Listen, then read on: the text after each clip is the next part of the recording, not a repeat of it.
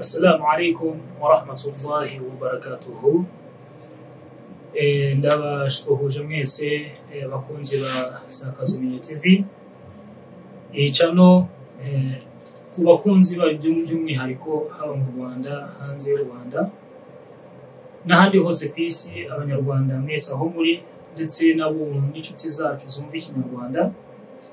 Eh, aka kanya muri kumwe n'umuvandimwe wanyu eh, Arafat Hassan.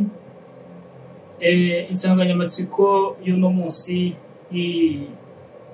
tugiye kuganiraho mu gihe gitoya cyane iminota mike usanga ni hagati y'umukristo ndetse n'umuyisilamu umukristo n'umuyisilamu umukristo hari igihe ajya yegera umuyisilamu mu gihe baba bari kuganira ibiganiro by'idini by- by'impaka z'idini dore ko na byo aba ari ngombwa abantu baba bagakwiye ku- kugira ibiganiro by'impaka ariko impaka nziza ziganisha mu kubaka ubumwe ndetse n'ubu- n'ubuvandimwe.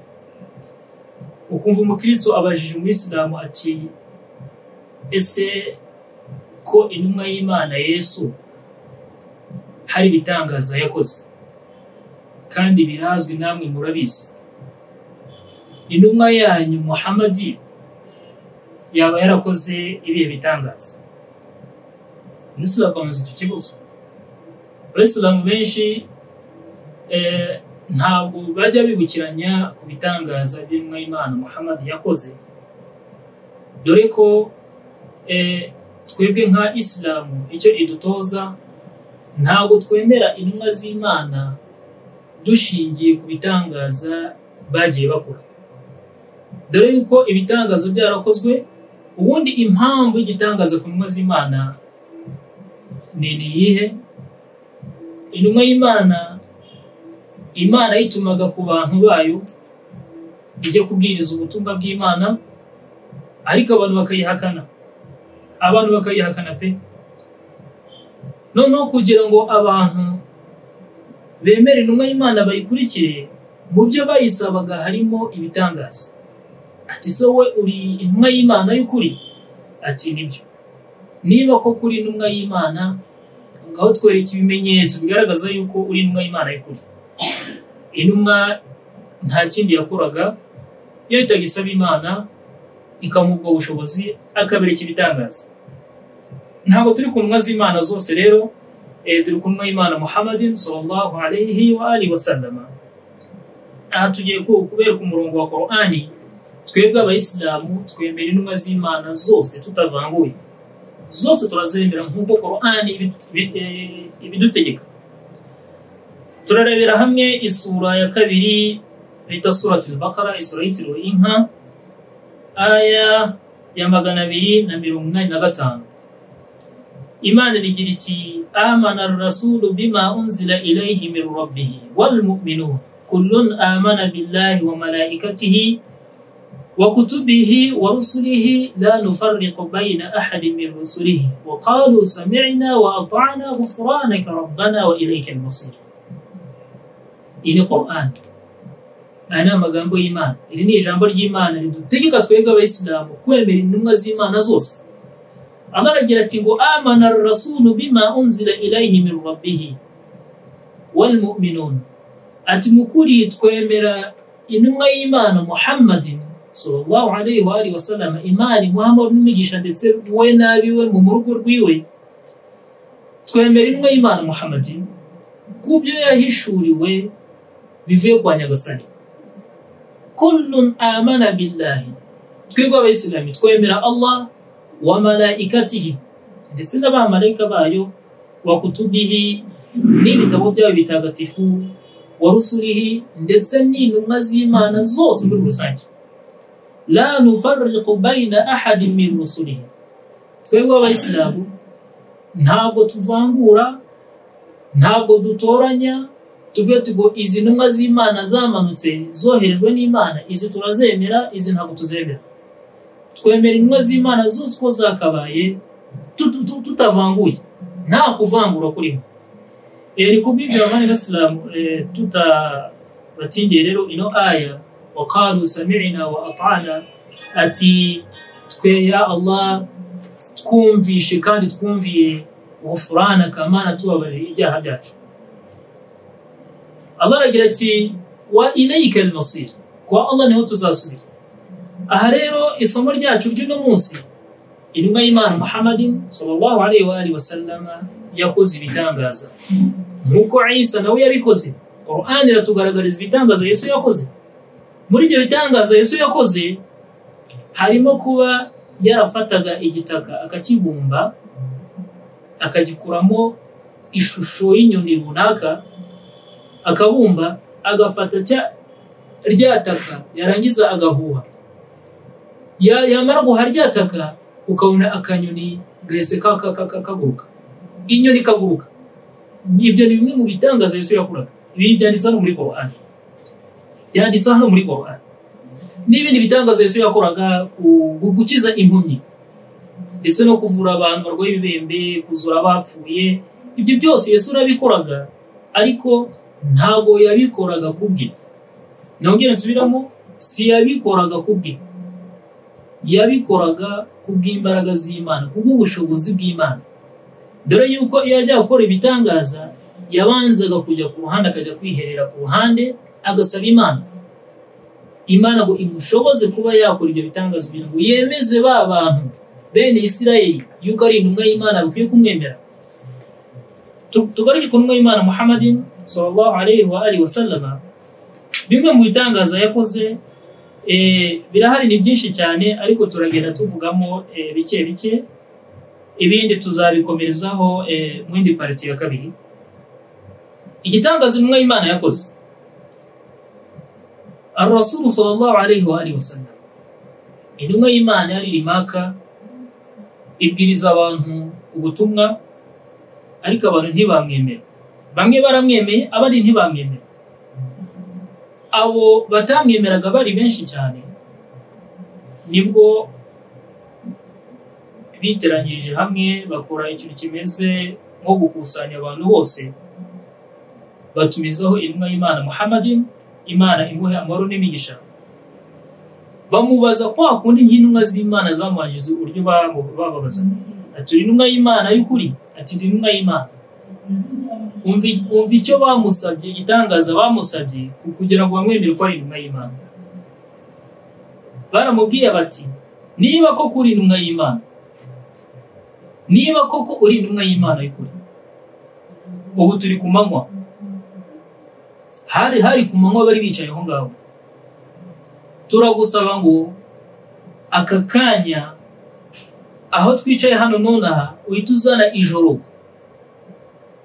Uzana ijoro aka kanya.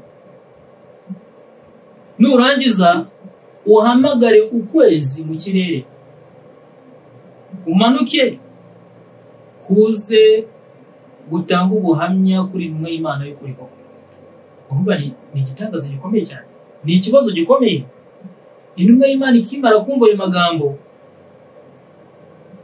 yumvishe ari ibintu bikomeye cyane bihambaye. Ariko kuko yari intumwa y'imana yizeraga allah by'ukuri ijana ku ijana ajya ku ruhande asaba imana. Yuko yamuha ubwo bushobozi kugira ngo abashe gukora ibyo abo bantu bamusabye. Batubwira ko ngo hari ku munsi wa cumi na kane w'amatariki ya kisilamu intumwa y'imana rero isaba imana kugira ngo imuhe ubwo bushobozi. Irangije igaruka imbere y'abantu bayo. Ako kanya akimara kwicara muri abo bantu bari bamusaba icyo ngicyo ni bwo bahise banabona izuba rise rigira sipidi rise rirenga vuba vuba. Ryararenze ngo hahita haza ijoro. Haje ijoro. Haza umwijima unakanganye wakanze abo bantu. Abantu bamwe muri yani bamwe bahise bahungabana. Bagira ikibazo gikomeye cyane. Nibwo bagiye kubona babona intumwa y'imana izamura intumwa y'imana yazamuye akaboko ahamagara ukwezi nk'uko yabimusabye ukwezi kuramanuka. Kuramanuka ngo kwageze hejuru y'intumwa y'imana muhammadin sallallahu alaihi wa alihi wasallama ngo gusadukamo ibice bibiri. Gusadukamo ibipande bibiri. Barangije bumva ijwi rivuye mu kwezi rijya riti ashhadu an la ilaha illallah wa annaka rasulullah. Ati ndahamya neza yuko nta yindi mana ikwiye gusenga mukuru uretse allah wenyine. Nkanamya ko nawe muhammad uri intumwa yanyu. Ukwezi niko kwasubiye mu kirere kura- kura- kurasubirana ba bantu bari bari aho ngaho barimo kumva. Harongera hagaruka amanywa nk'uko ya saha nyine bari bariho irongera igaruka nk'uko byari bimeze. Urumva icyo ni igikorwa intumwa y'imana yakoze ni igitangaza gikomeye cyane. Ibaze kubwira abantu ngo zana ijoro nonaha uhamagara ukwezi uze guhamya kuri intumwa y'imana ibyo intumwa y'imana yarabikoze. Abikora bi idhnillah ni kimwe nk'uko intumwa y'imana za- za- zamubanjirize hari ibitangaza ba- babasabaga nabo babikoraga kubw'ubushobozi bw'imana. Aha rero abantu bakimara kubona ibyo bintu bibaye ni bwo hamanutse aya icyo gitangaza cyabayeho bakita sura iyo, aya iyo sura ni isura imanitse muri Qur'ani iri muri Qur'ani ni isura bayita suratul qamar. Suratul qamar. Isura yitiriwe ukwezi. Isura yitiriwe iki ukwezi. Ni isura aho nyagasani atubwira ibyabaye icyo gihe. Imana iragira iti iqtarabati saatu wanshaqa alqamar. Bismillahi rahmani rahim. Iqtarabati saatu wanshaqa alqamar. Imana iratubwira ibyabaye icyo gihe. Ibihamya neza muri Qur'ani bita ngo ni suratul qamar. Isura yitiriwe ukwezi. Ni isura ya mirongo itanu na kane. Isura ya mirongo itanu na kane uhereye kuri aya za mbere. Imana iragira iti iqtarabati saatu wanshaqa alqamar. Ati igihe imperuka izaba yegereje hazaba hagaragara ukwezi gucikamo ibipande bibiri ibice bibiri. Ati wa in yarau ayatan yuridu wa yaqulu sihiru mustamir igihe abantu babonye icyo kimenyetso cyabayeho nta kindi bahise bakora abo bantu.